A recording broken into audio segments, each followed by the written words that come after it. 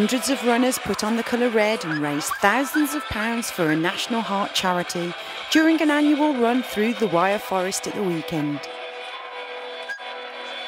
About 500 people gathered at the Wyre Forest Discovery Centre at Callow Hill to take part in the event yesterday organised by the British Heart Foundation.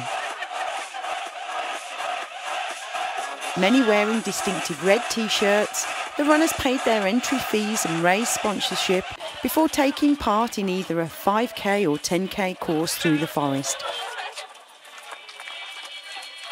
Early indications show the run raised more than £25,000 according to event organiser Gemma Cohen. The Wyre Forest Run is in its seventh year and organisers have already set a date for next year, which will fall on March the 9th.